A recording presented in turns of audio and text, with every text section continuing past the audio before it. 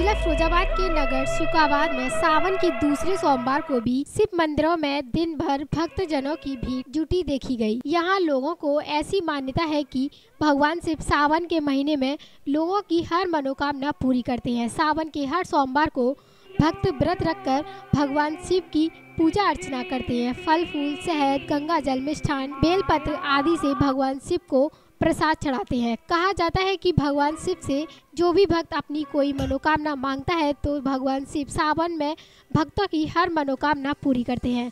आज भारत के सभी मंदिरों में भोले बाबा की खूब पूजा अर्चना की जाती है। इसी का एक नज़ारा फिरोजाबाद के शुकाबाद में अनेक शिव मंदिरों में देखा गया। शुकाबाद से सचिन जैन की रिपोर्ट है स्केच न्यूज़।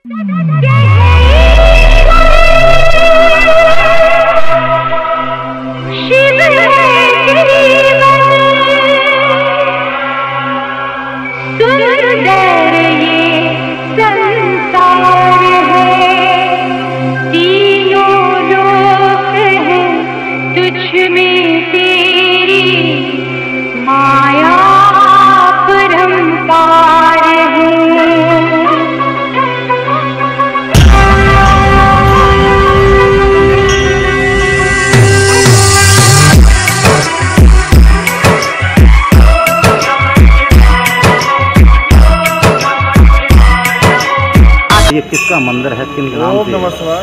ये भोले बाबा का प्राचीन चौकी महादेव नाम से प्रसिद्ध मंदिर है।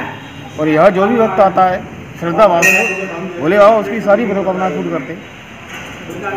ये श्रावण मास का जो है सोमवार दूसरा सोमवार है। दूसरा सोमवार। मास का दूसरा सोमवार है। आज श्रावण मास का द्वितीय सोमवार है। आज भक्तगण भगवान भोलेनाथ चौंकी महादेव पर अपना पुष्प बेलपत्र आदि चढ़ाने के लिए आ रहे हैं। यह मंदिर बटेश्वरनाथ मंदिर टोइया वाले बाबा मंदिर और चौमथी मंदिर समकालीन कहे जाते हैं। इनका प्रादुर्भाव एक साथ हुआ, ये प्राकट्य हुए हैं, इनको स्थापित नहीं किया गया। ये सिद्धि स्थल कहे जाते हैं। इनको नगर देवता भी कहा जाता है, क्योंकि यहाँ पर ये बहुत प्राचीन काल से हैं। कहा जाता है कि दारा सिखों के समय से इनका यहाँ पर स्थापना हुई है। और सभी भक्तगण यहाँ पर सुबह शाम आकर के अपने भोले बाबा के दर्शन करते हैं पुण्य प्राप्त करते हैं और समय समय पर विभिन्न धार्मिक कार्य आज दूसरा सोमवार है और हर सावन में भगवान भोलेनाथ सभी मन, म, म- भक्तों की मनोकामना पूर्ण करते हैं।